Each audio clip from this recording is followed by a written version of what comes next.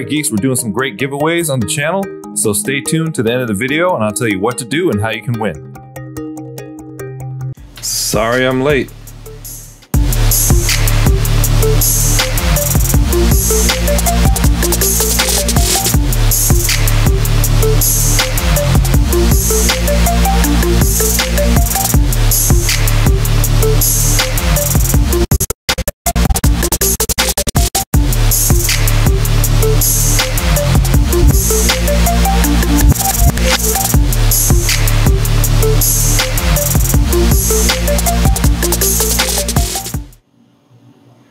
Alright, special shout out goes to Best Buy for letting me pre-order this within five minutes of the announcement.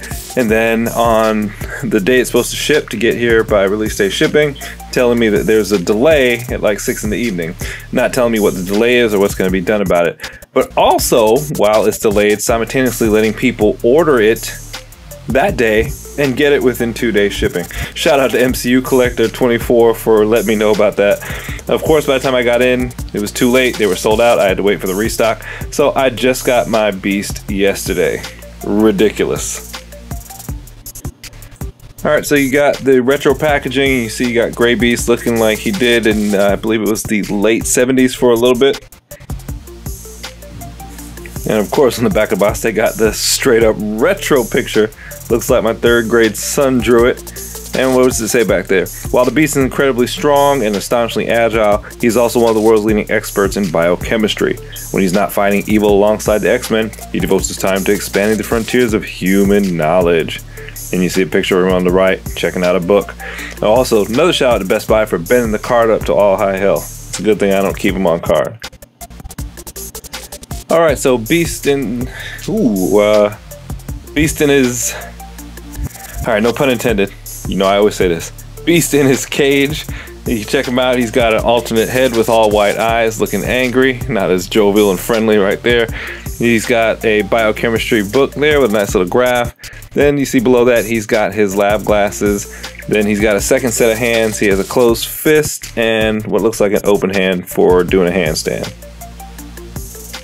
Beast booty shot.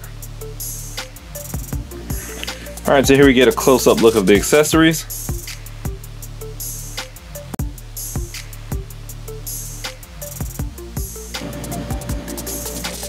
Behold, Dr. Henry McCoy, or as they say here in Georgia, Hank McCoy! How you doing, boy? Alright, so, hmm, interesting. The head sculpt's decent. It does look like the comic book. I remember that from being a kid. But I gotta go back and check. I don't know. His head looks like he's kind of sitting low on his shoulders. Maybe that's a more ape-like look because I know that uh, a lot of larger apes, their heads do sit in like that. So maybe it's on purpose, but I don't remember it looking like that in the comic book. All right, so top of his head, he's got blue hair. And he's got his custom, I call him Wolverine hairdo. So the fur, as you can see, it's wavy and carved in, but it's not, it's all gray here and it's like a dark grayish black here. Then you've got the fur coming off the shoulders. It's not as black as it looks in the video, but here are the joints. There's no uh, fur carvings. I don't know if they could have done that. It probably would have stopped the arm from moving. Alright, so sweet. He's got the deep butterfly joints here. You can see fur carving continues on the back. Uh, it's a bluish gray here in the middle. I've got some white paint on mine. You see, you got a bicep swivel. Looks like double jointed elbows. We'll check that in a second. All right, looking at his legs here. Got the furry ankles, fur flowing backwards, all carved in. Does have thigh swivel, blue trunks. And he's got articulated toes. You can wave hello and goodbye. Alright, so do we have the exorcist here? Yep, head does go all the way around. Very loose. Really loose on there. Does it tilt to the side? Yeah, it tilts a little bit. More of a spin, I'd say. As it's spinning, it leans. But again, it's very loose.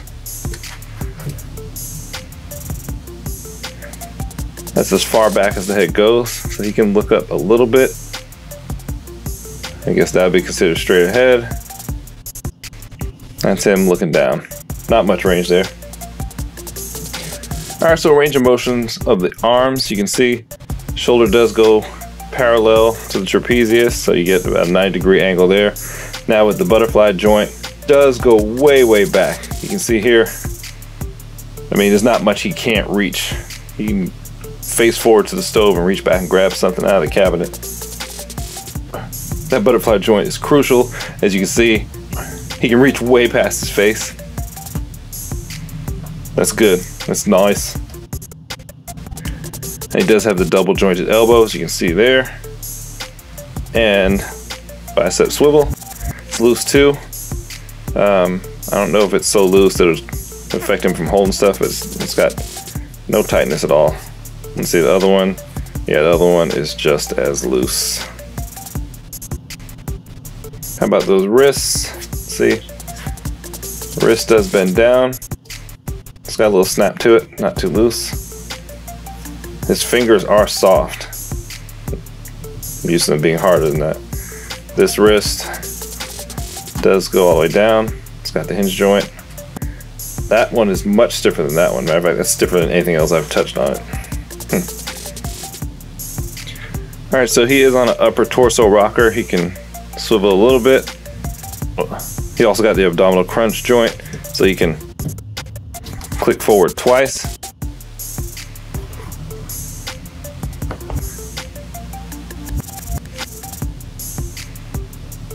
He gets one good click back, so even though it's only one click, it's got good range on it. Waist does not spin whatsoever does spin up here a little bit. I wonder if it goes all the way around. I don't know what kind of joint that is. I don't want to snap it. You can go all the way around. You're good. It's nice. Uh oh See, that head is loose.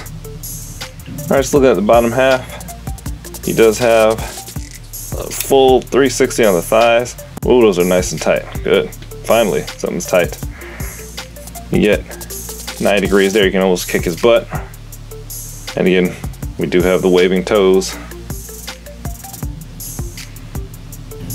Right there he is with his foot fully extended and his toes pointed straight out, so you can see the kind of range he gets.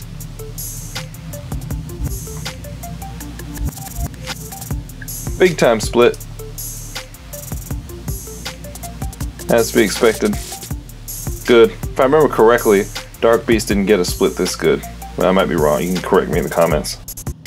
There is no cast swivel. It's all solid.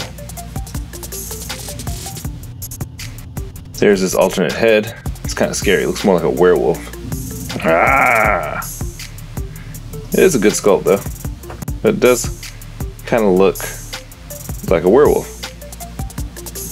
Maybe it's just me.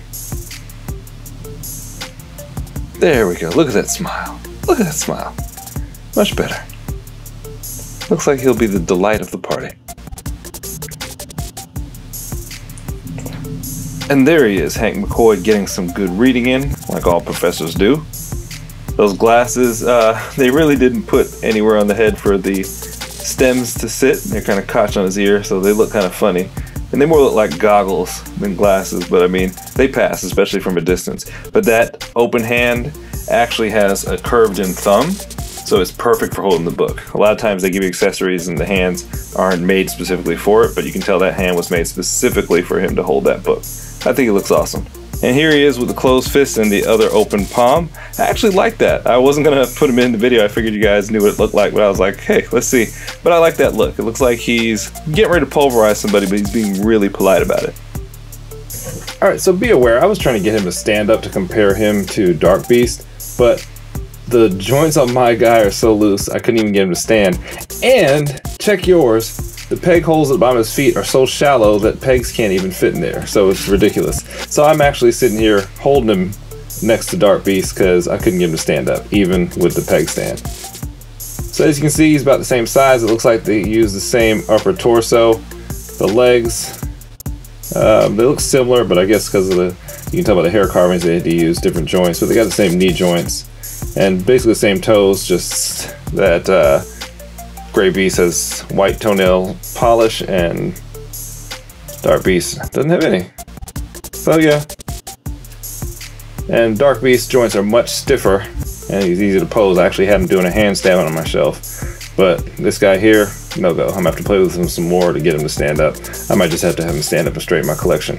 All right, so thanks guys. Make sure to like and subscribe. Let me know what you think in the comments. And we do have uh, two 1,000 subscriber giveaways going. So I don't I don't want people to get confused. There are two different giveaways. So at a thousand, I'm going to do two drawings, and they're for two different prize packs.